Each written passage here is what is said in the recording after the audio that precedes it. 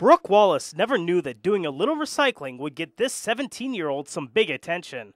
Her duct tape prom dress is going for the gold at the FCCLA National Leadership Conference in Orlando, Florida in July. I like to try things new. I'm always looking for something new that hasn't been done before. And I like um, looking at things and then making them my own, basically. She ended up wearing the 10 pound dress to prom, and her date was okay with it too.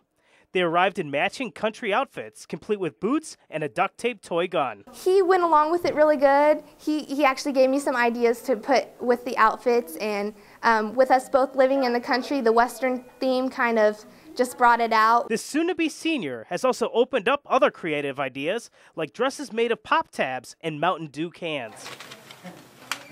Someone from Australia even offered to buy one of her hand painted shirts. A lot of people do it, but not around here, I guess you would say. So um, it's just something new that I can use. Recently, Brooke's work was featured at the Grassroots Arts Center in Lucas, Kansas. She spoke with many visitors and also came away inspired to do more art. It's been a lot of fun. I've got to talk to a lot of people and just um, see other artists' works too, also with that. Everyday items get Brooke's imagination going. They've given this teenager some time in the spotlight as she goes for the gold. For this week's Kansas Creation, Zach Richie, Lucas, Kansas.